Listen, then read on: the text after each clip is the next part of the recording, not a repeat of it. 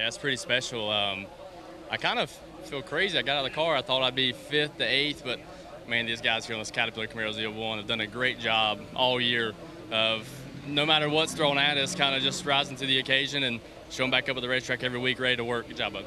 And um, you know, with all that going on, there's so much going on around us that you can get lost in distraction of things. But to know these guys have continued to have my back through all that stuff has meant the world to me. So. Um, yeah, congratulations to RCR, ECR. I mean, they've been doing a great job for us all year, so it's cool to be the guy to steer it around the line there and get quick time.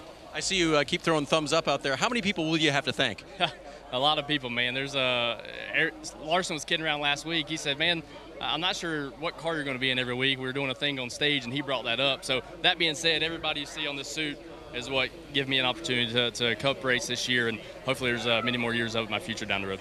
Not only that, Jeff Burton said you were going to do it. Daniel Hemric does it. He's on the pole for tomorrow's race, Marty.